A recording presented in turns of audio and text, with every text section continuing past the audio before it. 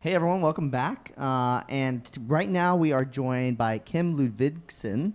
Uh, he's actually the founder and CEO of Interprefy, which is probably the coolest interpreting platform software that you could ever use.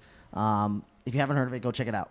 But they've done some absolutely incredible stuff. We had to have them on the show because we're talking a lot about international events and how can you bring you know more audiences into your events, and you know especially with you know more and more companies going global, they're needing to reach their offices in other countries that have different languages now, right? So the, you, what you guys provide as a service is even more impre- incredibly important than ever before. Would you Ex- say? Yes, exactly. Uh, thank you, Will. We uh, we actually democratize uh, simultaneous interpreting. So far, it has been uh, something used uh, mainly by uh, big international organizations, multinational uh, companies. Uh, it has been a very expensive uh, and exclusive service, and we open up this uh, service for everyone to use, also small organizations. And because we cut off, uh, cut out all this uh, uh, cumbersome, heavy equipment, uh, it's not needed. We use standard devices that enables uh, conference organizers to dramatically reduce the overall costs of uh, simultaneous interpreting. Uh, so, uh, you know, you'll probably remember from macroeconomics when the price of a product goes down, the demand goes up. We experience that. We see how more and more organizations now want simultaneous interpreting at their events. Wow. And so, because everyone who ha- has not exactly heard from your guys' platform before, it's all remotely done. Whereas in tr- the past, before you know Interprefy was created, you'd have an interpreter in person, sitting in a booth somewhere like a couple hundred meters away, right? Whereas now, you you guys, your software allows it for the translator to be in a in their home country. Anywhere in the world, yeah.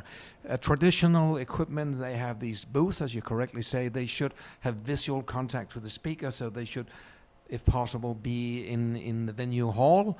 Often there's not enough space. Uh, but with our technology, the interpreters can be we can be anywhere in the world, and we use real interpreters. I need to emphasize that uh, high quality interpreters, and the fact that the interpreters can be anywhere in the world means that the conference organizers can pick can pick the best suited interpreters wherever they come from in the world. Wow.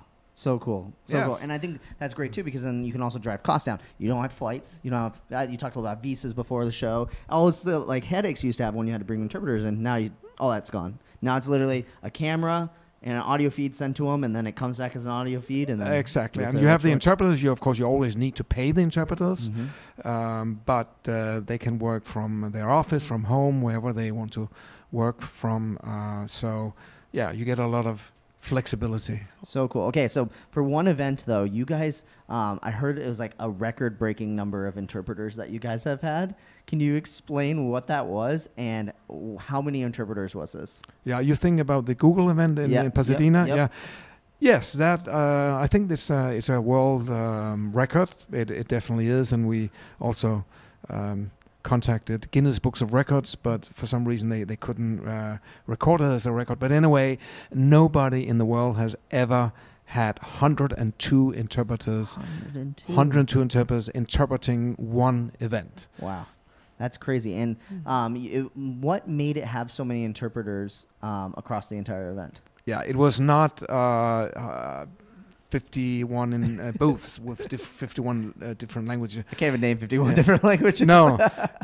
Yeah, it was. It was. Uh, there were breakout sessions. There was a plenary session, and uh, I think with eight or nine languages, and then they had, um, uh, I think it was nine or ten uh, breakout sessions between four to eight languages each. So that all added up to 102, and then on Wow. top of it, we had uh, 35 technicians uh, helping, supporting, guiding the interpreters online. Wow. What What's um, a big challenge that people won't think of when it comes to translating their entire event, all their breakout rooms, all their general sessions, everything like that? What's a big challenge they don't really think about? Well, I mean, you you need to coordinate everything, and there are some additional um, challenges when you um, have the everybody remote. uh, you need to sort of prepare everything very well. You need how to um, you know, reach people, get in contact with them. You cannot just walk up and and uh, you know, if the, an interpreter falls asleep in the booth, you can go and, and knock on the window. Uh, here we, we have other uh, means, uh, but it, it of course it, it needs a very sort of tight organization to control and monitor and support all these interpreters. Awesome. That's awesome. Um, for someone who's looking at adding multiple languages to their events, what's your biggest tip for them for when it comes to doing this other than using interprefy obviously or considering remote broadcast what would be like a tip that you'd have if someone's looking to bring in you know a bunch of interpreters into their event well, how they should do it, or why they should do it? Uh, maybe like a tip for how they can how they can do it better, uh, like a tactical tip for you know, for example, I like I'll, I'll, give an example. Is I know that when we do our events, you a lot of the interpreters are craving the content ahead of time. Yeah, yeah. I was just I was just yeah, uh, I yeah. just thought of that. Yeah. Uh, yes, that was just what I came into my mind. Uh, as always, the better you can uh, help the interpreters to prepare, the better they work obviously. So, so, but that counts whether it's on-site or uh, remote interpreting. Uh, the interpreters appreciate very much when they can get the presentation materials or the manuscripts in advance. So that is definitely uh, one thing, and and also, um, you know, give them time to prepare. Um, when there are short-term uh, changes, you know, inform them, keep them in, informed. Awesome. So yeah, that, I would say that's a, that's in the I love it. Things. Um, and for anyone who's looking at uh, maybe adding translation to a public event, what are your kind of order of languages? Obviously, does it depend on market for where you need to fit within for like what languages you think that need to be hit and always covered first? So, for example, it seems like Spanish is like one of the big ones, right? Um, what sort of languages do you, and how does someone choose what languages should be translated? Okay, like you're obviously talking about uh, North America. Yeah, yeah, sure. Let's talk yeah. about North America. And uh, U- US, and US. That's it, and obviously it flips. Very much Spanish. Of course, we in that case the the as you say public events. Uh, we our strength is you. We have. Uh, both like an open token, so the organizer does not control who attends.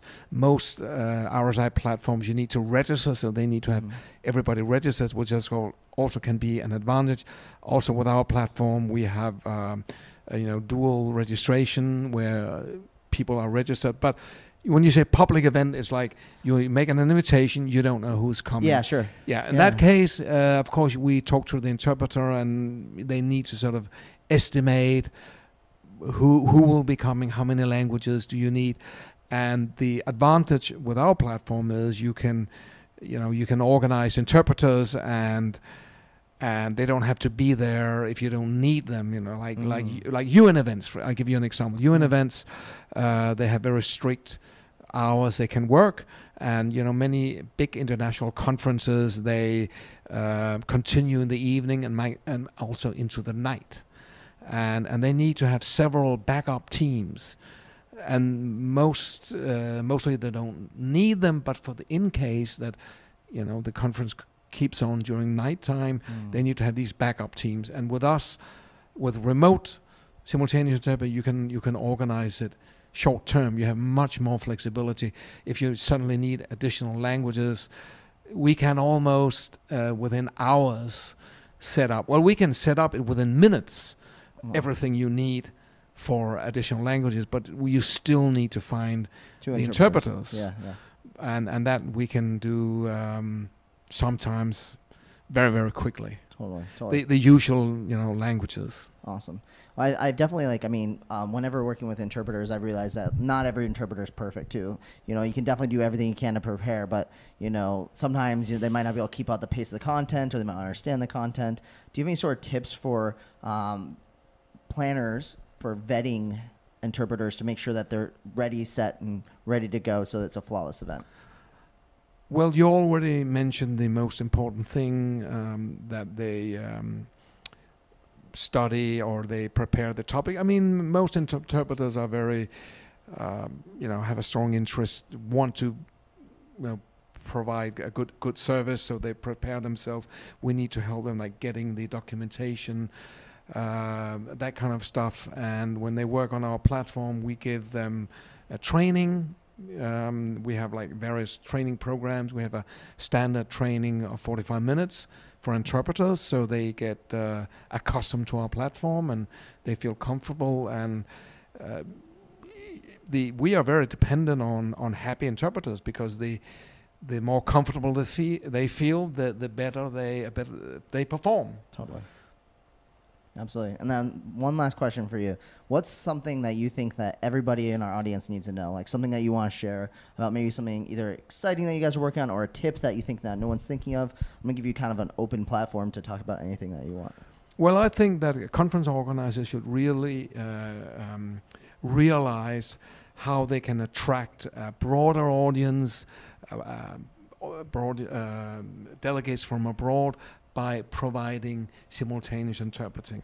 And also on top of it, with uh, RSI, you can also have delegates participating, uh, listening from from um, outside the event remotely. Mm. So perhaps people cannot come to the event or they don't want to pay the for the trip so they can still like now live stream Absolutely. not only participate but but also get um, interpreting and and uh, and also speakers can be remote and Mhm. and there's one thing I would like to uh, uh, um, mention a lot of companies they have standard uh, webinar um, uh, platforms right like uh, Adobe or Skype or um, whatever they're Go to called meeting, Zoom. Yeah, exactly. Yeah.